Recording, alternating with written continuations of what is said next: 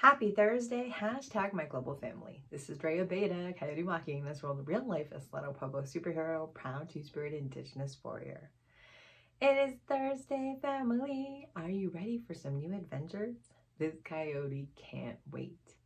Thank you so much for joining us for our daily prayer. I am honored to be pastor of Coyotes Lodge, House of Spirituality, Race Theory, and Medical Marijuana. Every weekday, we ask our ancestors for their blessings and guidance. Today, family, it's all about hashtag less stress. So we are living very, very busy lives. There's a lot going on.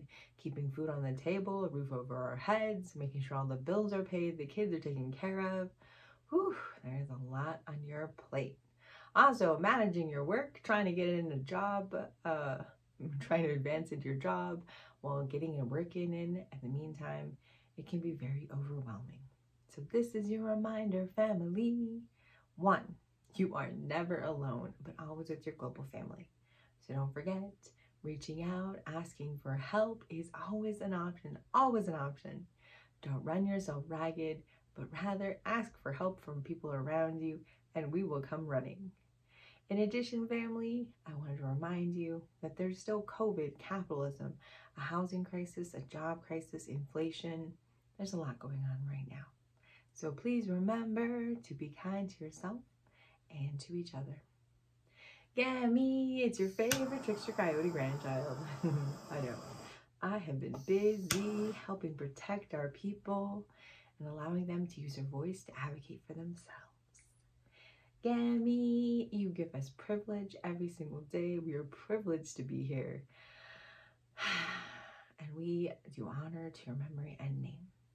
Gammy, today it's all about having less stress in our lives.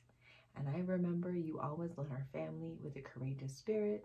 You made sure that all of your kids were okay and that we had plenty of opportunities to move our family forward.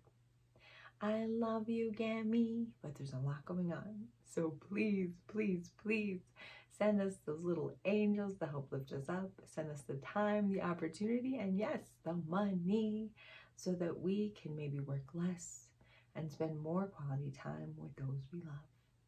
We love you, Gammy. May you rest in peace and send us some of your courageous heart. Papa, Papa. I miss you, Papa. I hope you're doing well. I remember our wonderful Sunday dinners. We'd either go out to a restaurant like Cervantes, go see a movie, or maybe come home with a bucket of KFC and watch some John Wayne. We spent lots of quality time together, and stress didn't seem to be quite a problem. But those were simpler times, Papa. That was my childhood, and I enjoyed every moment of it. Thank you for keeping our family safe, for providing a space and a family that was my everything, Papa.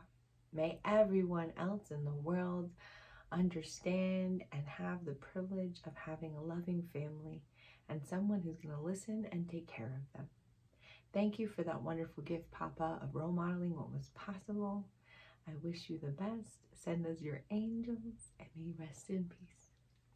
And to my great great grandpa, Pablo Abeita, true revolutionary and Isleta Pueblo statesman, to all of our aunties, uncles, gammies, papas, those who have gone before us, those we are adopted to by blood, and those we have adopted in our hearts. I love you.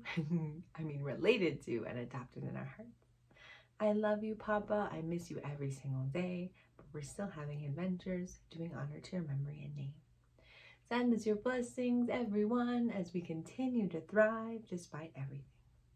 May you all rest in peace. Family, today is Thursday, and I'm challenging you. Today's theme is all about having less stress in our lives. And it doesn't happen by, um, by accident. we as human beings make things happen in our lives. So I'm challenging you, family. What strategies, what help, what opportunities can you create to help you have a little less stress?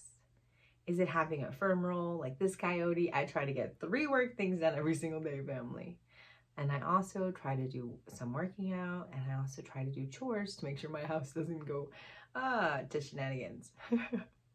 so I'm just saying family, asking for help is absolutely necessary. asking for um, your partners, for your loved ones, for your family to come in to tackle life's difficulties is absolutely a must. Remember, you are never alone, but always with your global family. This coyote loves you, and I'm off to cause trouble somewhere else.